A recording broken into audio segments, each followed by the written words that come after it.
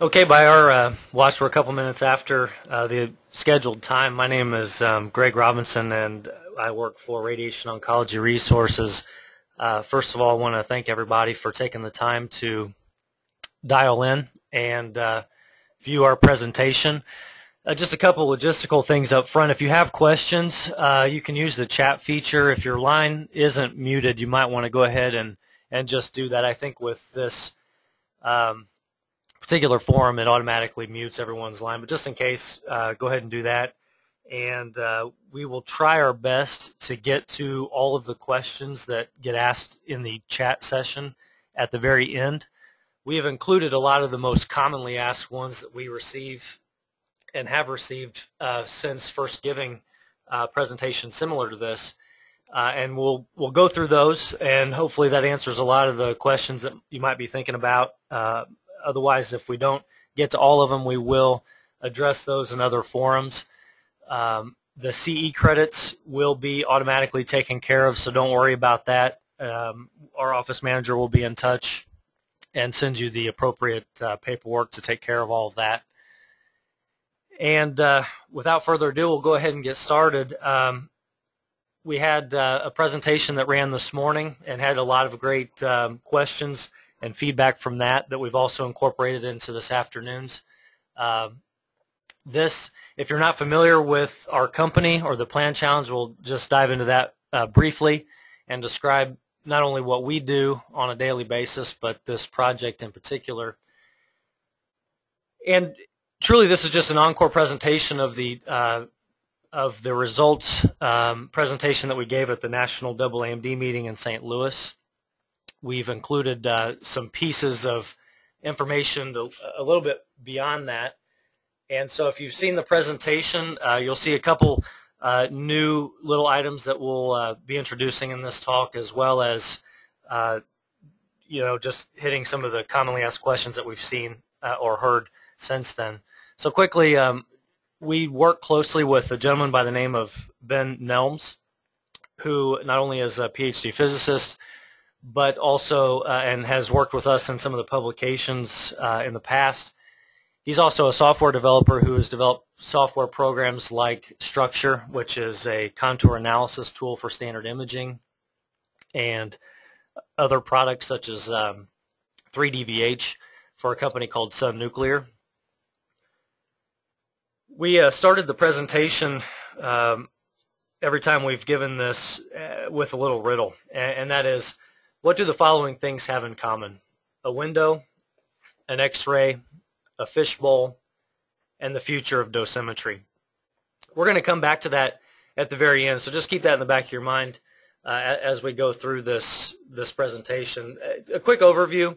Um, I don't know about you, but I'm a little webinared out, and I know there's been some great presentations this month. Uh, we also give a lot of um, uh, presentations in regards to this particular project, so I don't want to waste your time if you're familiar with the history of this company and the project itself. We've kind of removed some of that information so to avoid redundancy. Uh, if you're interested in more information in those regards, you can always visit our website. We'll be posting some additional information in, in that regard. Uh, we will touch on some of the newer things that we did for this year's plan challenge in relation to previous years. And this whole idea of uh, the PQM, this concept of a plan quality metric, why we decided to use it, uh, what was different about this year and what led up to us using it and incorporating it, and how we feel th that a, a metric such as this may be important in the future of plan evaluation. Beyond that, we'll uh, announce uh, some of the winners for this project, and, and we really uh, don't like to place too much emphasis or focus on the fact that uh, that that we have a winner. It, it does help with the participation. Uh, I'm not going to lie. If we didn't have some sort of winner announced, we'd probably be talking amongst ourselves and not have the opportunity to work with several hundred clinicians. I think it's all embedded in our DNA as dosimetrists and uh, treatment planners to be a little bit competitive and to try to do the best we can absolutely do. So having this quote-unquote competition uh, definitely lends to more people participating, and I think a direct result of that is having more valuable information out of that. So really what we want to focus on is an evaluation of the PQM specifically and some of the trends that we saw uh, out of this year's plan challenge, and then also where we hope that this can go in the future. I always take for granted that with some of the social media outlets and just networking at different shows that everyone's pretty familiar with what we do and what we're about. Uh, we have had people come up to us afterwards and said, what, what is it exactly that you guys do? We, we have roots. Um, we're all uh, CMDs or a CMD-based company uh, focused. Um, our roots are really embedded in, in remote treatment planning, uh, both off-site and on-site. We do uh, cover some local centers our headquarters are located uh, just around the cancer center within the hospital in uh, South Bend, Indiana. And we have several dosimetrists that work and are scattered um, throughout the country. We, through the years of, of planning and our own clinical experience, we've kind of come together and through some of the projects that we've been involved with, like the Plan Challenge, have kind of dove into, dove into this pool of uh, education and mentoring uh, and working with different researchers to publish some of the data that we uh, get back. As I said, some of our newer philosophies with the plan challenge um, and some of the projects that we're involved in, they they're they're they've evolved from our traditional remote planning business model.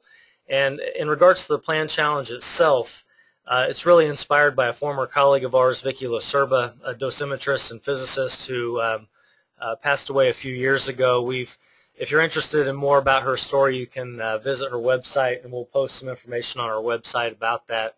Um, but about six years ago, she had an idea to start what she called a plan challenge to uh, just talk about different planning ideas.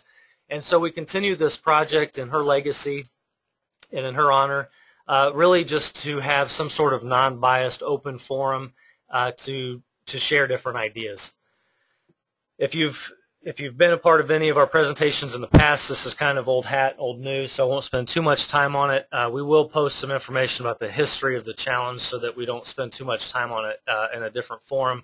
But really, the way it's set up is very simple. Uh, post a single set of CT images online, open that up to treatment planners all over the world where they can access the information and they are given a prescription and the target volumes uh, we did add uh, the critical structure volumes, which we'll talk about in a second, uh, and why we did that this year. And then downloading those, doing the uh, best possible plan that they can do, and sending back those DICOM files uh, to us for uh, basically comparative analysis. So in 2009, we started this project. This, um, you know, and really I should emphasize that this has been a volunteer project. Um, internally, we do not uh, have any bias towards one vendor or another. Uh, I think um, for whatever reason, I think we've given the impression that that's that's the case. We we started with Eclipse and Pinnacle just because that seemed to be the biggest user base at the time, what we were most familiar with. And in 2009, we had a 3PTV head and neck with 100 people that registered and 32 plans that qualified. Following that, in 2010, uh, the numbers uh, grew, which was exciting to see, and also the scope internationally uh, as well. We opened it up to uh, CMS at the time, now Elekta treatment planning system. Uh, it was a GYN IMRT case, and it was a little bit more sophisticated, a 2PTV case, and the and, and that particular challenge as well as the head and neck, the contours were, were not provided for the critical structures. And so what was interesting was some of the contouring variability uh, information that we had. I, we did not incorporate those slides on this particular one because we've we've gone over it so many times in the past. But uh, for instance, it was interesting to note, you know, what one dosimetrist versus another uh, across the country may view as the parotid on the same data set. And then taking that one step further and looking at how dosimetrically uh, what the effect was.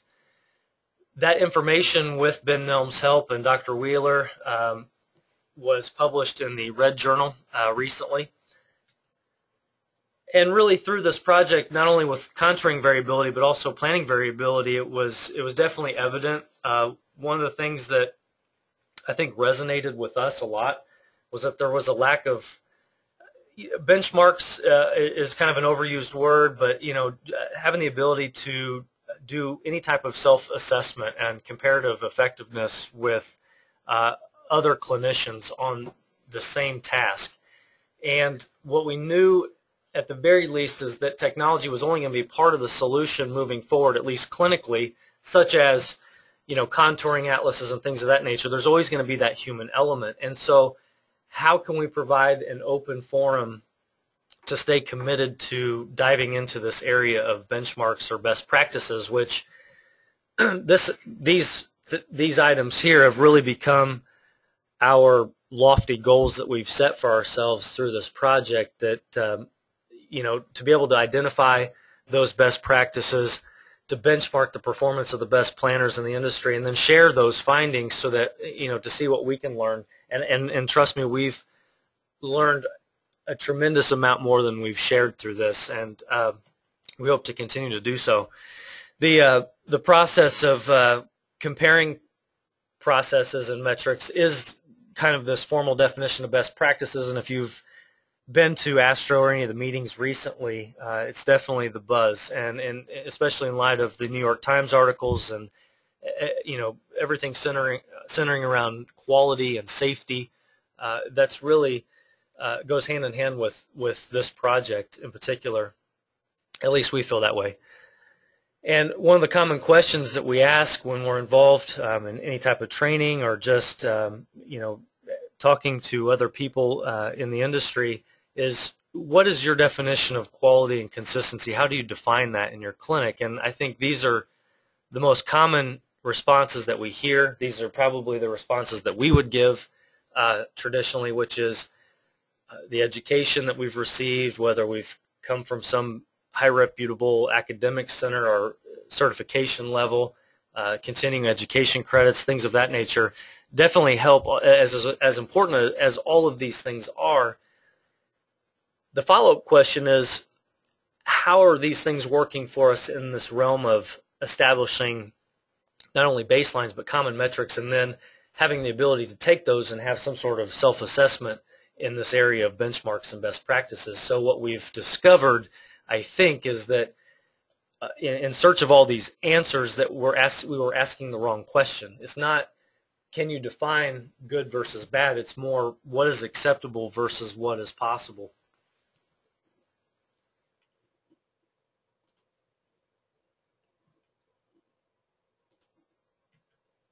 And so through the last few years of doing this project, we've demonstrated that variability exists in contouring and planning. So what? Uh, there's a lot of publications out there that allude to this. That's not a, uh, a, a, new idea that uh, you know having the ability to plan the same or contour the same. If we pulled 100 different clinicians in a room after doing work separately, that you would see differences. And um, in the past, the plan challenge specifically, when we were looking at, I guess, the scoring techniques, if you want to call it that, they we would like to think that they weren't this subjective. Uh, they they weren't quantitative in any way, probably because uh, they weren't provided at the beginning, and we'll talk about that in a second. You know, as far as looking at the plans and announcing a quote unquote winner, uh, there were things looked at just that are important um, in, in, any scope of evaluating a plan. Contouring analysis, conformality, these are just a few examples of common things that are looked at when evaluating plans. And all of those things went into, um, you know, ultimately choosing, I guess, what, what that best plan was. But uh, the exact metrics or, I guess, scoring sheet was never provided up front. And uh, so with this year's project in, in 2011, we opted to do a prostate fossa case, which was a 2PTV case, a little bit more uh, challenging. We wanted to do something that was clinically relevant, but it, it was not your standard prostate fossa case in the sense of the word. The um, one difference was we did open it up to all, uh, or at least six planning systems, uh, Eclipse, Pinnacle, Elekta, Tomo, RaySearch, and Nucletron. We had uh, even more participation than we had last year, which was very encouraging to see. Uh, the prescription itself, this is a screenshot of uh, the sagittal view of the data set. The pink volume there, the magenta volume, was the PTV uh, 68. There was also a PTV 56, all in the same plan. We gave the prescription as well as the uh, brief H&P uh, online, uh, you know, and, and then uh, asked that 95% volume of each PTV receive the prescribed doses. Uh, one of the other um, differences from the years past, and we, we knew that we were going to do this last year because we wanted to remove one more variable from looking at uh, planning variability. We've, we've separated uh, the contouring challenges and the plan challenges on purpose, and we wanted to provide a just a standardized or a, I guess a, a uniform set of critical structures for analysis. So truly, uh, just looking at the ability to move dose around uh, on and, and, cover a target while avoiding um, areas at risk. And so the data set itself, this hopefully the lag time on your end is uh, is uh, not horrible, but this will kind of track uh, superior and inferior, showing uh, both the PTVs, the bladder, the rectum, the penile bulb, uh, the femoral heads, all of the structures that were provided.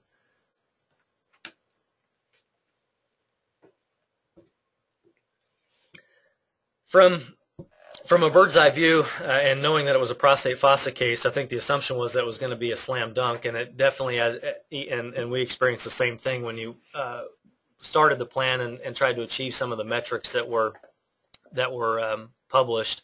It was definitely more difficult uh, than we originally thought it would be, but uh, so this whole idea of a PQM, this plan quality metric idea, what we, we had come to this kind of fork in the road, this decision that we we knew we wanted to do something different. We had had some feedback uh, from past participants, and we had thrown the idea around about being a little bit more uh, transparent with the published metrics or the scoring criteria. And we had avoided it in the past because we didn't want to be viewed as, you know, somehow providing this absolute standard of plan evaluation. Uh, but what we found was that we were doing probably more harm than good by not providing those, and that really uh, to have more value in the information that we would receive back, it was probably uh, going to serve us well and serve everyone else well to provide some more specifics. So we we know that metrics uh, from other studies and from other industries that quantitative analysis is um, an important um, consequence of of metrics. Uh, it helps to establish baselines. And like I said, we kind of dove into this um, whole idea of PQM mainly because of uh, feedback from from everyone that had participated, and that's what's been nice about this project is that we feel like it's as much everyone else's as it is ours, and and that's that's really been uh, encouraging for us and exciting for us. We were already two weeks into the project. We had already posted the data set online, and, and we were hesitant to make the change even though we knew uh, we were getting some um, a lot of requests to provide some more specifics. And I think the um, ultimately when we decided to go ahead and make that change, uh, since we had started the project, we had been the ones to create the initial rules, and we had, I guess, the leeway and the power to change them.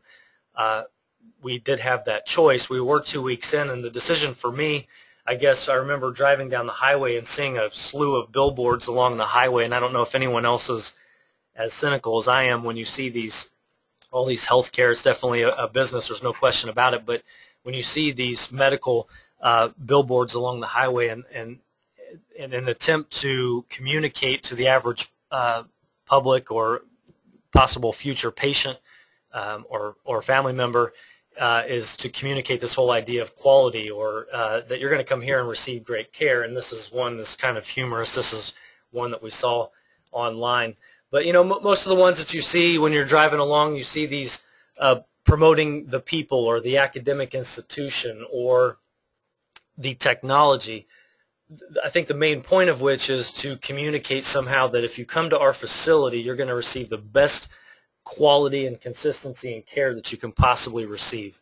And even the government has stepped in with the CARE bill, I think, uh, as a starting point to uh, address inefficiencies and lack of quality in this realm of um, licensure and certification and, and equating that to reimbursement and, and uh, ultimately, I guess, uh, being accountable for what you do. And we're not claiming to say that uh, somehow our idea with metrics is a new idea. I mean, you can look at quality metrics in any industry, whether that's manufacturing, automotive, uh, and it all kind of comes full circle back to this whole idea of this Lean Six Sigma and, and, and some other ways of evaluating uh, quality in, in the Deming, in the Deming way. I think everyone's heard of uh, of that.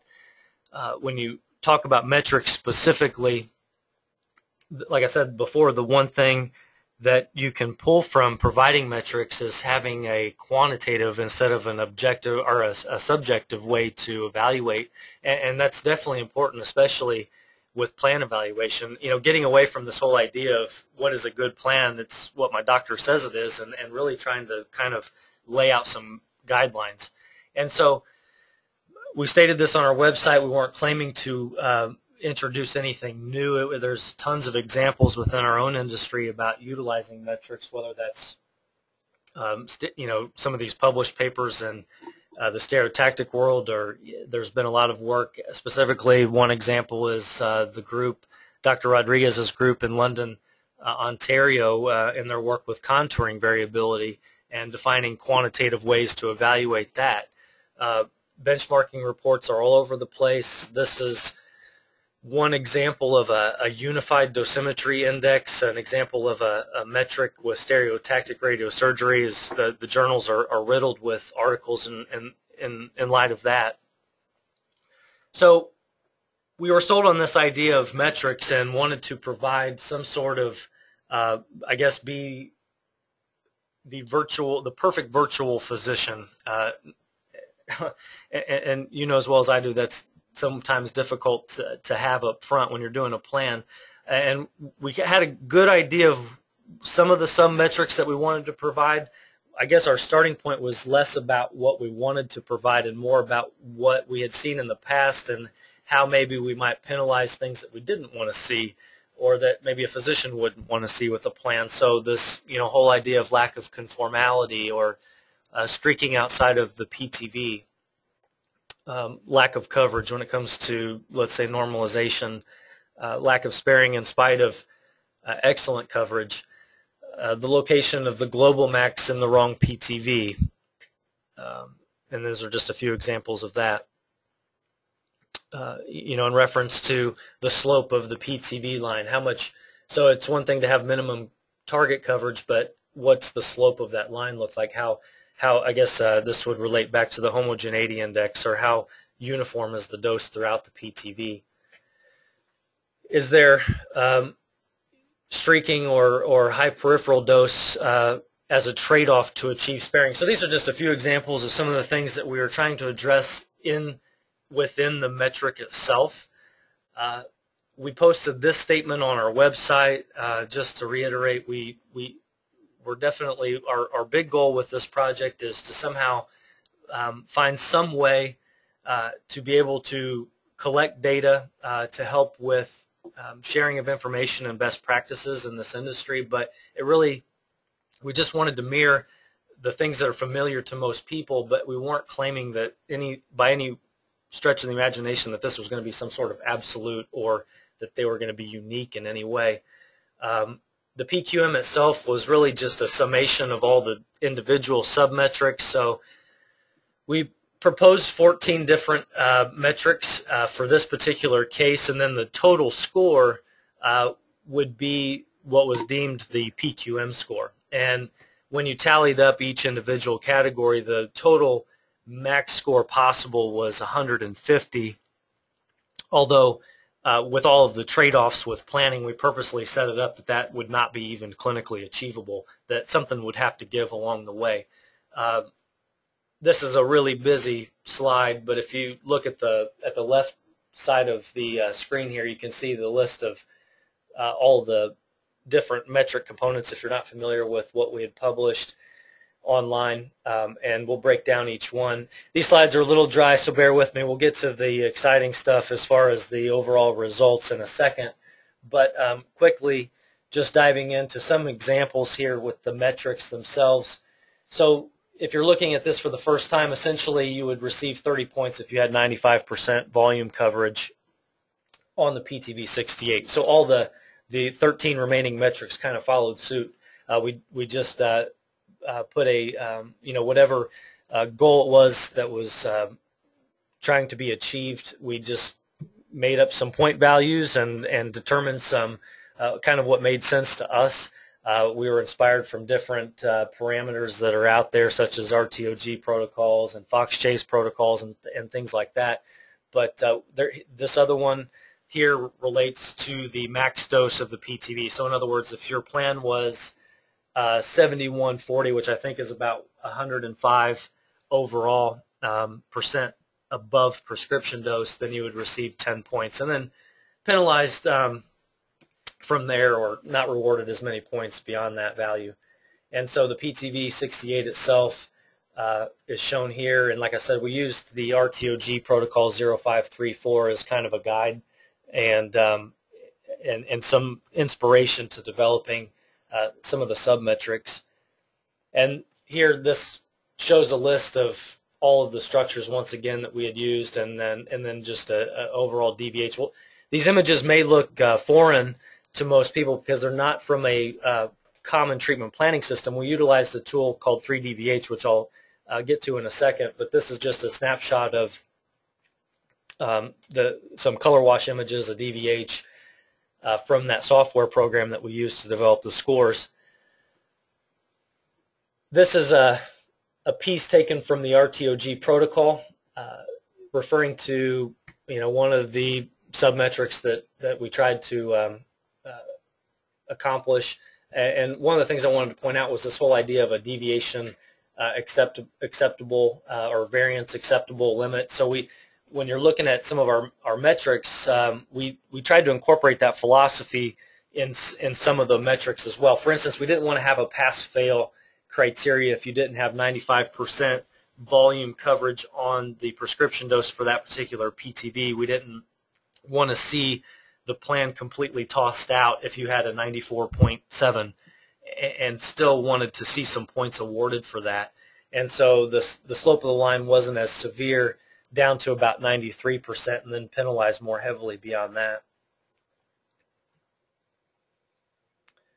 And this shows the overlap of the PTV 56 into the PTV 68. So it was not an, uh, an easy thing to accomplish to have uh, not only met the tumor coverage minimums, but also um, control the uh, homogeneity throughout the two PTVs. But I think that was a good image to, to show that in addition to the PTV coverage, we wanted to uh, have a, a, metric that addressed the uh, GTV coverage as well. So uh, following a similar idea, uh, if, if, for instance, if you had 98% coverage on the plan, you'd get about nine and a half points uh, for this particular submetric.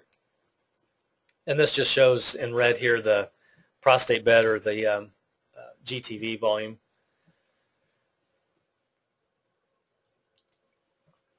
This metric here was one that um, we had a lot of questions about. Uh, we wanted to have some sort of parameter in place that would evaluate the slope of the DVH line for the lower dose PTV when you're differentially dosing um, eh, to be able to control, I guess, the uniformity of dose throughout while still achieving coverage. Uh, we wanted to address that specific thing. So this is a good example uh, to illustrate the point here, which is um, taking the low-dose PTV, subtracting it uh, from the high-dose PTV, and then looking at the subtracted volume uh, in relation to 105% um, above prescription. So in this case, it was 5880 uh, in relation to 56 gray. And then putting that on the metric and, and assigning a score this one was addressing uh, some uh, pieces of, I guess, conformality, the prescription dose outside the PTV 68. So how much in cc's of this particular contour was uh, uh, receiving prescription dose or above uh, to this orange volume here. So anything outside the high dose PTV uh, would get an awarded um, set of points based on the volume of that structure that had prescription dose or above. And this just shows some common ring structures that uh, might be used to help control that dose bleed off. And it was graphed on a DVH just like any other structure, and then the dose stats were recorded and um, on in our software program, and then assigned a, a, point value. This slide here shows the three uh, rectum uh, metrics that were published. One specifically alluding to the um, high dose area at prescription dose and uh, how much volume was encompassed with that, and then points uh, related to accordingly, and then uh, the V65 and V40 values, which I think are pretty familiar if anyone follows the Fox Chase protocol. And so we set up some metrics there, and and um, this shows that those weren't an easy thing to achieve because of the amount of overlap that was uh, that the rectum had with the PTV itself. And uh, we're almost through these metrics. Bear with me. I know these are kind of dry. If, if you're like me, I'm somewhat like uh, Pavlov's dog. When I hear a bell, when I see this uh, commercial or emblem for five-hour energy, I perk right up. So uh, we're almost through these metrics here. This is one that was related to the bladder. And much like the rectum, you can see that the total points as we go through these are descending. So uh, we put, placed a higher point value, uh, obviously, on the targets, and then uh, just trying our best to equate some sort of relative weight factor to each metric as we went down the list. And you can see from this slide here the amount of overlap, I think up to 12% of the bladder with the total PTV. So it wasn't easy to achieve a lot of the, especially the um, mid-range dose sparing. We also had a metric in place to look at where the global max of the plan was, whether it was inside the prostate bed or GTV and that would get a perfect score of five in this case, and then down from there if it was in the PTV. And, and this was just, like I said, really not meant to be an absolute, because I know there's a lot of uh, clinics in this particular example that may not want the global max in the GTV because of, let's say, their urethral location. Um, this was just something that we had opted to use. It was I used the analogy before that uh, we it was much like providing the recipe and saying, here, go bake a cake and let's see which one turns out the best. So we weren't saying that this was the only way to do things, but uh, just providing that particular recipe and, and seeing what the results were. And then and looking at the DVH and seeing where the uh, global max location specifically was. So these values were then plugged into our software and assigned uh, particular point values uh, based on that. This one was, I think the this, this is the second to last metric. Uh, this one was evaluating the 50% isodose line and the ability to bisect the entire rectum. This one was uh, probably the most uh, questioned metric that we had because the way we set it up, it was it was really almost a pass-fail. And there, we'll talk about this whole idea of a near miss phenomenon that we saw with several plans. And um, you know, right or wrong, it was what we opted to do just to test the ability to, to move the dose around, uh, you know, utilizing contours such as this to control dose bleed off. Uh, this, this shows um, with the CT image actually shut off, but the contours are there. So you see a sagittal view uh, here with the rectum, and just the 34 gray uh, threshold is set here in green. And so it was really just set up to uh, evaluate the ability to control the dose bleed off beyond the rectum. So if any one transverse slice was encompassed with 34 gray, then you lost 10 points. Like I said, that was pretty um, a severe penalty because there were a couple that got penalized just for one slice. But um, I guess as the saying goes, it is what it is. The uh, the to to finish this out, we had another one for the bladder at V40, and then uh, the last one that we spent some time with uh, and, and, probably had the most difficult time coming up with some sort of um, linear penalty or bilinear penalty was the conformity index. There's a lot of different published conformity indexes. We liked this one, or indices I guess you should say. This, this one here we liked the best because it seemed to address not only the conformality of the isodose line, but also the location and the shape of it relative to the shape of the PTV. And this was pulled straight from a, a, a, a very familiar publication, this formula. Um, so we used the formula based on the contours and the plan and then plugged those into the metric and then a, um, a relative point value was assigned beyond that.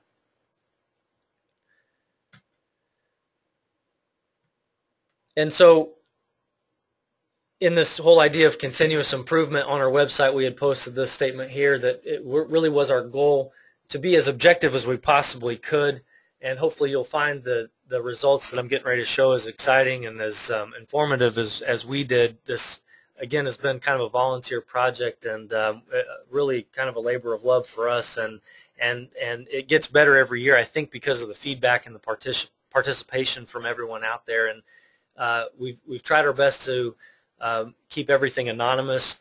Uh, and I really have to take this minute to thank the double AMD specifically, and I haven't, I didn't do that at the beginning because without their support, I don't think we would have had the outreach that we did uh, to uh, increase the participation as high as it was. And so they really saw, I think, the uh, potential in a project, uh, you know, and the importance of it, and um, and and got behind it the last couple of years.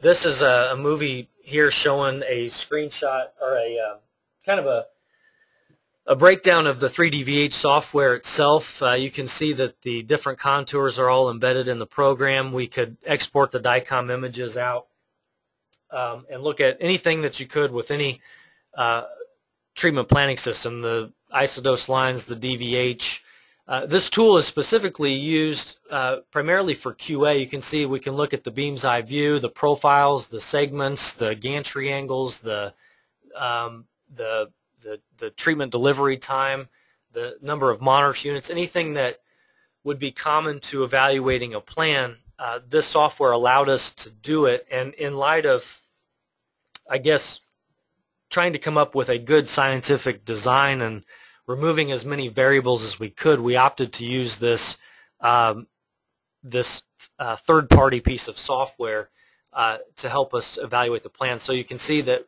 uh, here we had some uh, dose stats that were relative to the um, the the DVH that were allowed us to easily plug those numbers in and, and generate a PQM score.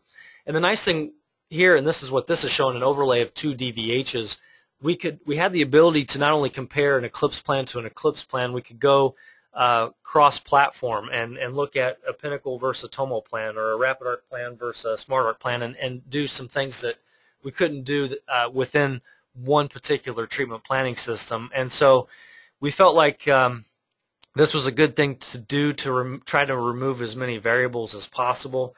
Um, the only thing we couldn't remove, obviously, was the planner uh, the treatment planning system itself and the and the algorithm associated with it. But at least for the analysis piece, um, because of the way the DVHs are bend uh, differently within each treatment planning system, we were hoping to remove that variable um, by use, using this tool. Okay, so the results.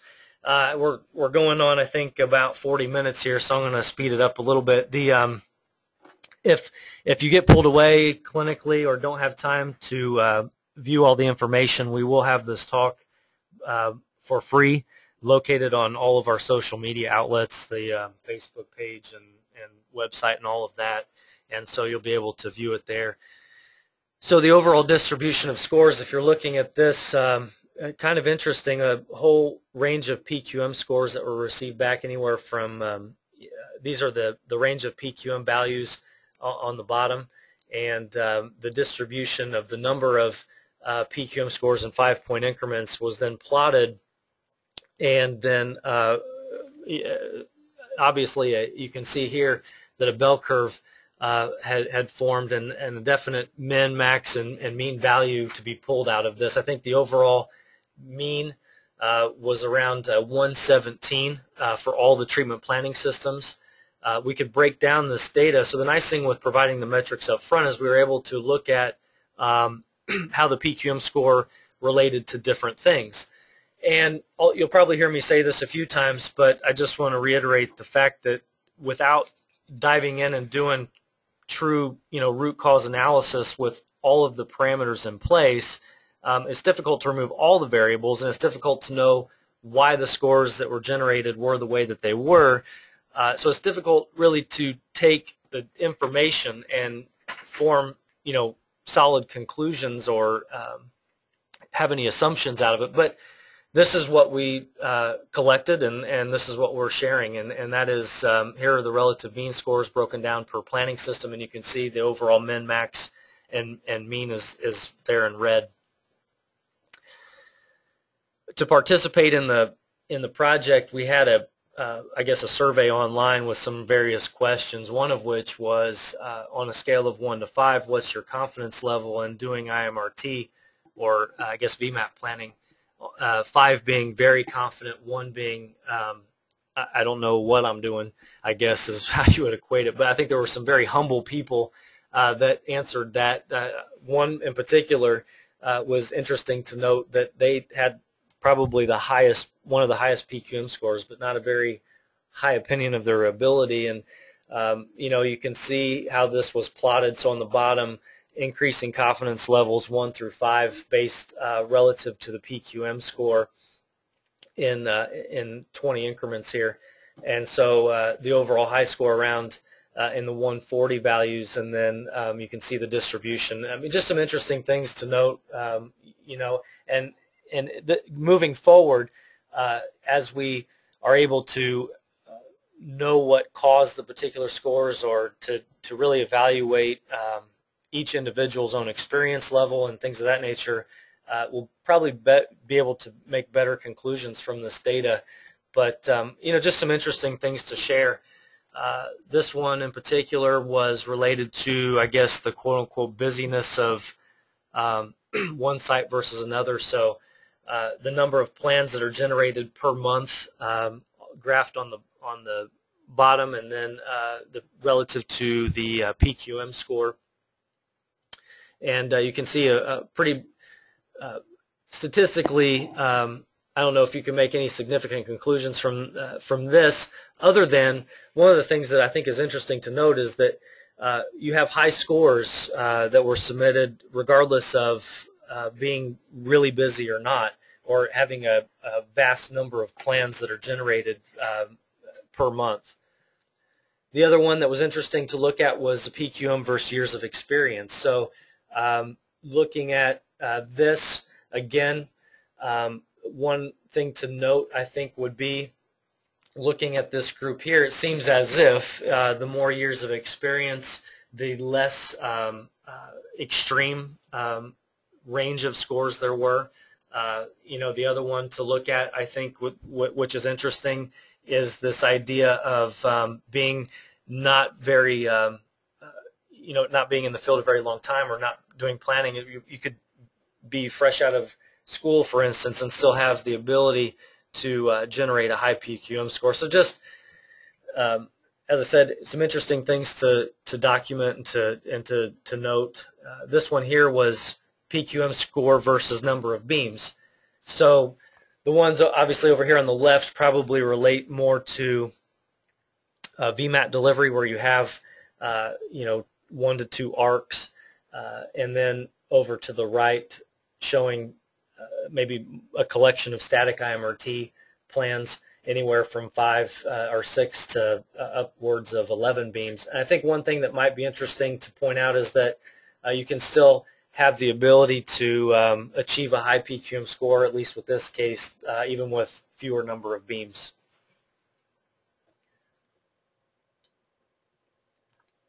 Another interesting parameter that we documented was the number of monitor units. So even though these things weren't part of the actual metric um, submetrics, we did document the number of monitor units and, and graph that versus PQM. So the first thing to note would probably be this plot of data points over here to the right would uh, be relative to a dynamic or sliding window cases that were received or tomotherapy, and then also um, the ones to the left being more of the step and shoot. And I think we'll come back to this point here. I think it's um, it's def definitely valid to say that one. I think the highest score that was submitted uh, for the PQM had the lowest number, or one of the lowest number of total monitor units. So just this whole theme of um, it's not really necessary to have uh, a high number of monitor units to achieve the same score. Um, Again, this was part of our pre-assessment survey, the just in own individual uh, background. I think there was some traffic in regards to a couple of these slides, and really uh, you know, this is good information to, to share. Um, what you can really conclude from just one particular data set, I, I, think is up to the individual that wants to take the data and, and do what they what they want with it. I think anytime in statistics, if you have an end goal in mind, you can twist and turn some of the information uh, to to really produce the the end result that you're after. I think uh, a good example of that is here in Indiana. We know for certain, based on several statistics, that Peyton Manning's the best quarterback out there. But if uh, we have people dialed in from New England, I'm sure they would use those same numbers to say otherwise. But just some interesting information to share, um, you know, in regards to people's backgrounds. So JCERT versus non-JCERT and OJT. And keep in mind we had um, uh, several individuals from the international from outside the United States where uh, this particular slide would allude to a CMD versus a non-CMD where the results here really could be skewed in favor of the non-CMD because outside the United States uh, that doesn't have a lot of uh, importance, at least at this time, for, for many people. But um, we wanted to be as transparent as possible and, and, and share the information that we receive. So this is the end value and min and max, and you can see that um, the, the mean and based on the standard deviation, I don't know that you can really make any statistic conclusions from, from this, but um, there is the information.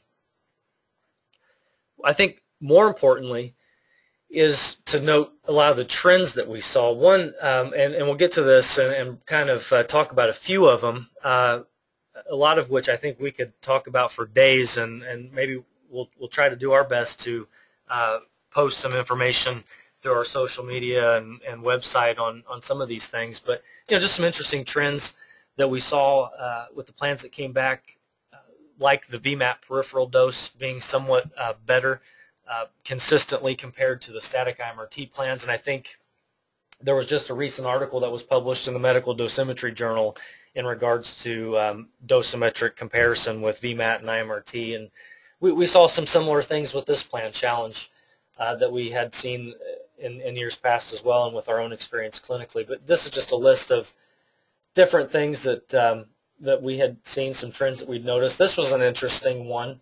Um, we did not specify as one of the variables to control uh, uh, of setting a certain uh, calc grid uh, size. And so one thing that we noticed with some of the large majority of the Pinnacle plans, I guess just by default, that the, the in the third-party software they looked a lot more voxelated than they did compared to let's say a plan such as this with a smaller calc grid size. And so it was interesting to note that um, a large majority, if not all, of the Pinnacle plans are close to it were submitted with a 4 millimeter calc grid. And with the way that the um, 3DVH uh, bends the DVH, uh, it, it truly, um, and, and Ben Nelms is going to put something together explaining this in greater detail because we're really running out of time. Um, but it this allowed us really to have the purest form of DVH binning because it looks at individual points and does a good job of not interpolating um, the data. And you, this is just pointing out some differences, for instance, with the lymph node um, volume percent that's recorded at a particular dose and, the, uh, and showing an overlay of uh, the same plan calculated with a 4 millimeter calc grid and then recalculated with a 2 millimeter calc grid and showing some of the dosimetric differences that we saw in this um, uh, with with the the 3DVH tool, and and we noticed glaring or I guess bigger differences with smaller structures such as this magenta line here with the penile bulb. So just some interesting trends to note. Um, the the differences were very very subtle, but uh, interesting to interesting to record nonetheless. So, like I said, we this we're nearing the end of the um, the presentation here, and we don't like to place too much emphasis on this whole idea of of having the overall high score or, or winning, but it it is has become important in increasing participation. All the winners did receive a brand new plaque uh, with their name, uh, and um, and I think uh, a, a gift card um, of, of some value there. And I'd like to give some moral, high moral statement about winning is not that important, but in the uh, in line uh, with uh, Charlie Sheen, we'll uh, we'll go ahead and honor those that uh, were not only winners but also runners-up. So you can see broken down by category here, the different runners-up and the associated PQM score, and then also um, getting into uh, each category. So for Eclipse IMRT, John Dietrich had an overall PQM score of 140 uh, for for that uh, category. And when we presented, this is an interesting story. When we presented this information um, on stage in St. Louis, uh, one of the uh, attendees was uh, a gentleman by the name of Anthony Magliari, who pointed out that uh, some of the um, what he had recorded his PQM score as being was slightly off than what we had, and we noticed that uh, in our final spreadsheet, uh, not a very high point valued submetric, but one nonetheless was off slightly, and so his score actually uh, bumped up about a point, and um, and really the uh, overall scores became somewhat um, indecipherable for this particular category. So we just went ahead and announced two winners for that. The uh, Eclipse Rapid Arc uh, category went to Noreen Schneck, who had who actually won the plan challenge for this category last year and had a PQM score of 137. And then Elekta did include uh, CMS and Monaco treatment planning systems. Uh, was Rob Sesick from Tulsa, Oklahoma in that category with a PQM score of 133. And then for tomotherapy, Richard Vaden, uh, who's a tomotherapy um, apps specialist actually. And, and this was an interesting conversation because we had some feedback afterwards that um, alluded to the fact that we should eliminate uh, specialists from participating. But I don't think, uh, at least, and I'm sure we can agree to disagree on this one, but I think it's it's useful to have whoever wants to participate because they, they know the system better than anyone, and so it becomes somewhat of a give and take, and and and um, you know, seeing how what what is truly achievable with the system. You know, they should know the system better than anyone, but at the same time, it gives um, the end user something to um, to achieve. The overall high score was um, on Pinnacle as static IMRT plan, um, and uh, we've had the opportunity to get to meet Michael uh, Young from Royal Hobart Hospital with the overall PQM score of 142.4. So um, we have had several requests to uh, to share the individual um, that the overall high PQM uh, score and also the breakdown of of each particular submetric, and we're more than happy to do that. And just quickly, we thought it would be a good idea. We'd never uh, tried to accomplish anything like this before, and it was um, I think it was overall a, a good learning experience. We had so many questions come from this project that uh, we wanted to do our best to try to address them and have somewhat of a, a town hall meeting to see, uh, to get collect feedback and also, um, you know, see what was important to others.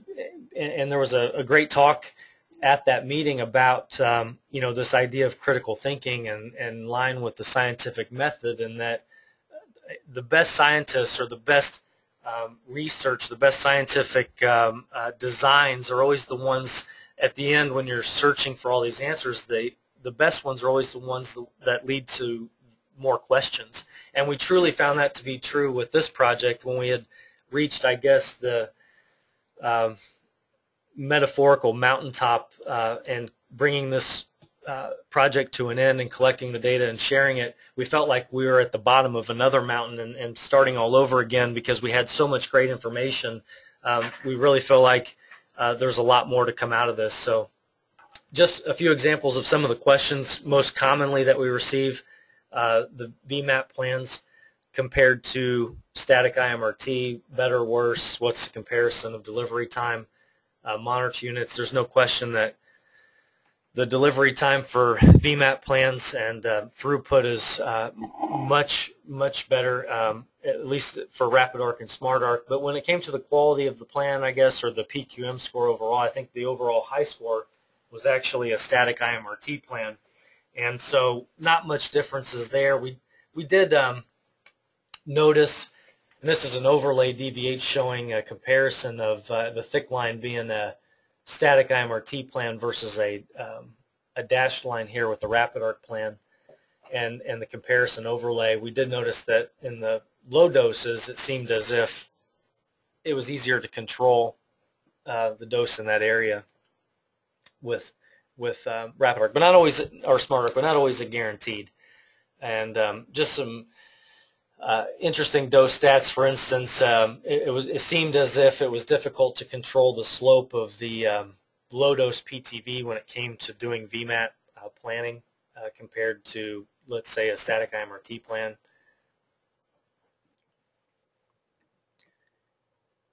And, and this is just showing um, a relative comparison that really especially on the right side of the DVH, it was almost um, splitting hairs when it came to the actual PQM score and looking at the difference between, let's say, the some of the best uh, static IMRT versus uh, VMAT delivered plans.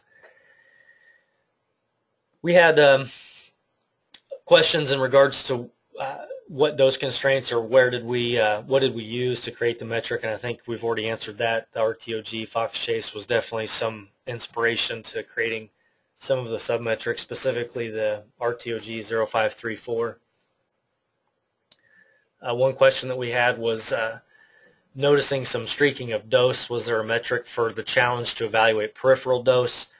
Um, we didn't specifically for this one, but I know in the future that's something we want to address. And uh, in line with peripheral dose, also this concept of um, dose bleed off uh, above the rectum, for example, in this case, where you know the conformality may have been good. You may have the the plan may have been able to control the dose bleed off of the 34 gray line, but once that contour came to an end, seeing a spillage of dose just above it. So maybe in the future doing a better job of um, designing a metric to address that.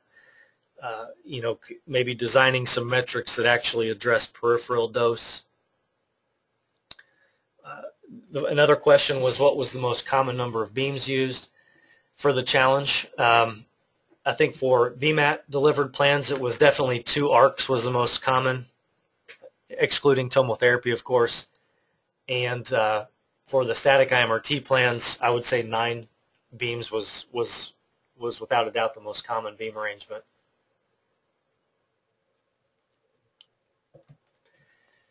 This was an interesting question. Was there any correlation between PQM score and version of planning system? And as everyone's probably very familiar with, when you get a new software upgrade and the algorithm changes slightly or gets a little bit more accurate and um, using the same techniques, uh, it was interesting because we would, at least internally, we were running plans uh, with this because we do remote planning for so many centers and we have the opportunity to plan on different versions of the same planning system to run the same case with the same technique and do a comparative analysis. Um, really uh, splitting hairs sometimes, but um, did notice slight differences with PQM based on uh, versions of software. So this was uh, this was a good one. What really is the difference between low, um, mean, high score clinically? That's hard to say. Uh, I think the only thing that we can say for sure is that we feel like we're starting with this project to ask the right questions, and I think that's where I once heard someone say that wisdom is is not in finding all the answers, but asking the right questions. And once you've obtained all of, I guess, those what's perceived as being the absolute answer, that's when creativity kind of goes out the window. So I think we'll always be in search of some of these answers, but um, we did notice some differences in these categories here with uh, with low, me, low, medium, and high, I guess, PQM scores. This would be a graphical representation of what I'm talking about. So the solid line here would represent a PQM score of 140 uh, versus a dotted line um, plan that was submitted with um, a PQM score of 100. And so I think it's a good way to look at the, the difference here, not only with critical structure sparing, what a 140 plan looked like versus a 100, but also the slope of the, uh, the uh, targets. And this is this is a perfect example of what we're talking about when um, we try to avoid getting hung up on splitting hairs with the overall high scores. Um, for instance, um, really getting hung up on, well, I, I, had a 135 and I thought I had a 136 and, you know, um, beating ourselves up because we were three shy of the overall high. Because when you graphed, let's say, a 140 versus a 132, um, the differences weren't drastic at all, especially in in in the the DVH and the the target coverage area, and really clinically probably insignificant and um, splitting hairs. So I think the the main focus is more about the entire spread and how uh, with the bell curve and how we can better communicate or um, uh, you know evaluate what's causing the, the, the wide range of scores. This one is I know there's people dialed in that aren't Eclipse users, so um, at the show uh, in St. Louis we had some requests for some of the NTO parameters that we use for IMRT and, and RapidArc planning. Uh, we did pass out uh, kind of a cheat sheet that we use, um, and we will um, give that out to anyone that requests it. If you go to our website and send an email to us at plan at rorresources.com, we can send you that, and maybe we'll do some follow-up uh, breakdown stuff on our um, Facebook page, uh, breaking down that particular document. There was a mention of gradient margins with differentially dosed PTVs. Can you elaborate? This one um, is a common technique that uh, we see, and I know a lot of people dialed in uh, utilize, but instead of just optimizing to the pure subtracted low dose PTV from the high dose, actually creating you know some gradient areas for the dose to fall off.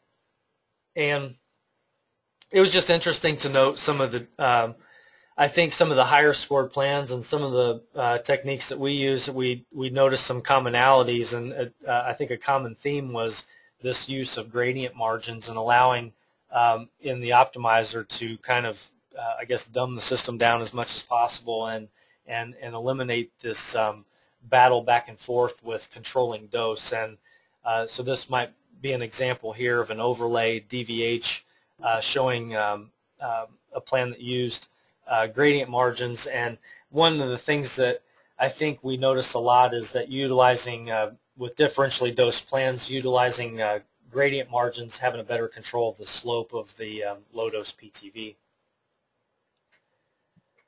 Is global max location really that big of a deal? This was a, a, another great question.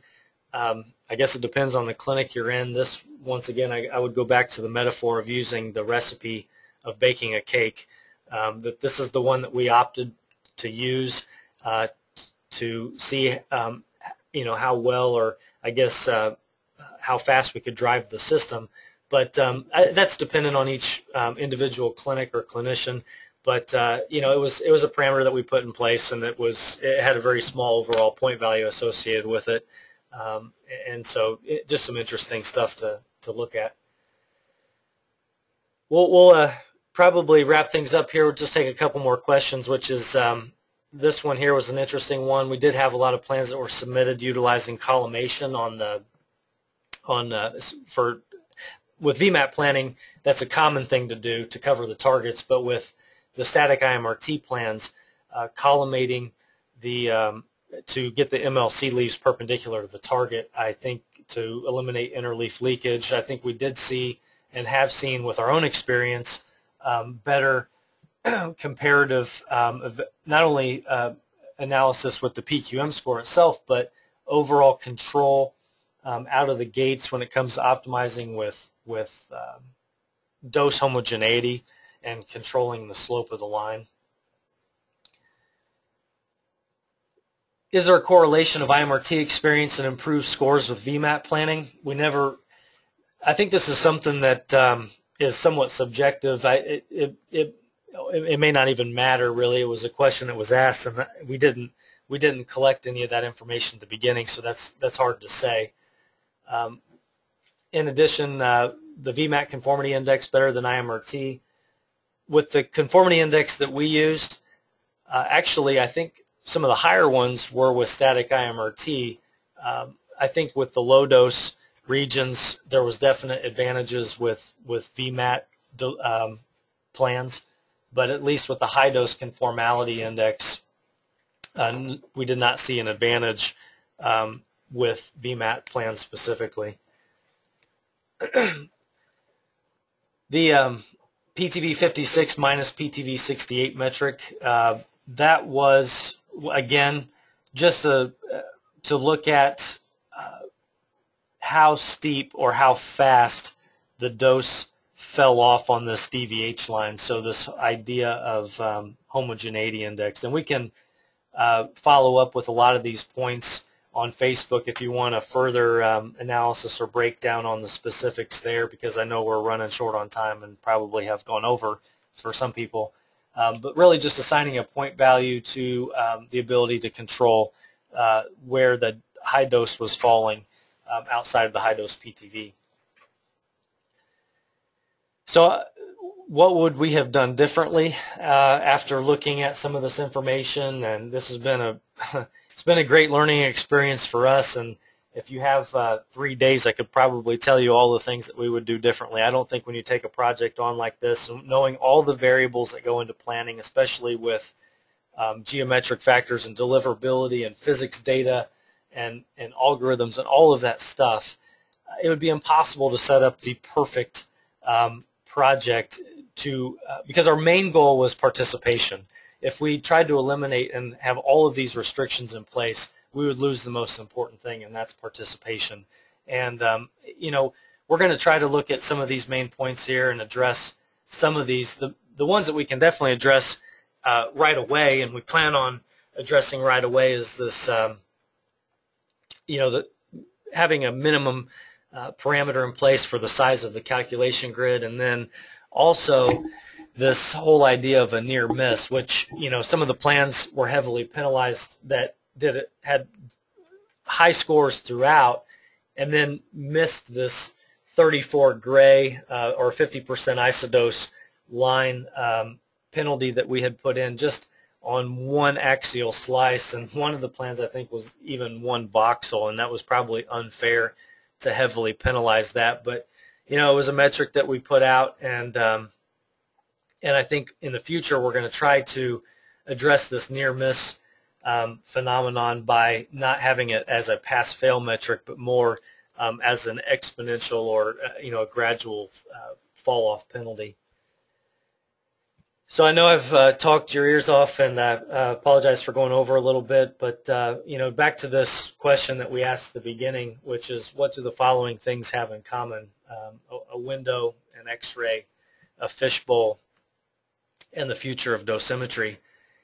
And for us, in in doing this project, it, it kind of the answer for us was this idea of transparency. And I think it's tough to have even the ability to share information with um, with our colleagues and our profession our our peers uh, because of the way that uh, we all work. And and and not a lot of us have the ability to um, work in large groups or numbers of people. So it's it's difficult to have not only self-assessment but to take it one step further. If we're going to go into this arena of best practices and um, accountability then I think we're going to have to be more transparent about uh, some of the things that we're doing and, and sharing that information, hopefully, uh, you know, getting less focused on, you know, winning or what is this uh, splitting of hairs of, of top scores, but how do we take and uh, the left side of the curve and shift it to the right? How do we better communicate some of the submetrics or how do we uh, help uh, people that might be struggling with um, understanding ways to um, to get better. And and I think that's the one of the nice uh, outcomes of doing a project like like this. And it's why we continue to do it. In addition to all the positive feedback that we get from everyone that um, is not only here but that has participated in the past. And um, i guess I'll just end with this quote, which is, uh, you know, information without knowing the experience of others really can't lead you to true wisdom. And so, again, with some of the, the graphs and the data, it truly is just information at this point until we can dive in and look and do a, a, really um, a root cause analysis of each individual category and what caused uh, that score to be the way it was. It, it's hard to make um, you know valid conclusions or assumptions from that. But um, I know that uh, we feel like this project has been useful, and, and hopefully you do. Um, and, and we're going to continue to do it. We try to uh, continue this and in, in, in, inspiration not only of what Vicki started, but also um, what we believe in as a group. And if uh, we don't get to ask uh, or to answer any of your specific questions, um, we will try to do a good job of that through some of these outlets. And if, if you haven't um, uh, joined or uh, signed up for our newsletter, I encourage you to do that because we feel like th this project continues to grow and get better because of feedback from, from the community. And uh, I'm just going to take a quick, gl quick glance at maybe some of the pictures or some of the uh, questions that have come in and try to answer a couple of these, and then we'll um, and, and, then we'll address these in, in other forums as well.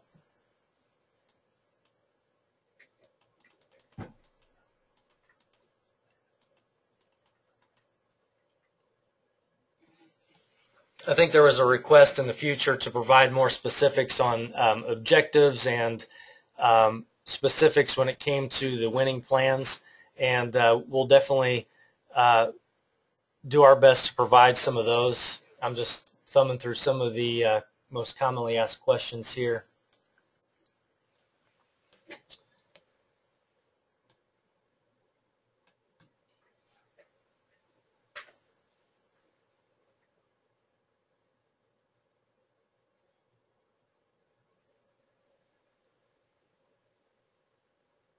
Um, probably the most common thing that's been asked is, uh, can I get my individual PQM scores? And that's an abso absolutely. Uh, if you send us an email, we can send you those and um, and and send those out, no problem. And uh, a lot of positive comments and and feedback mostly. Uh, and I think um, we will uh, definitely express our gratitude for that again and uh,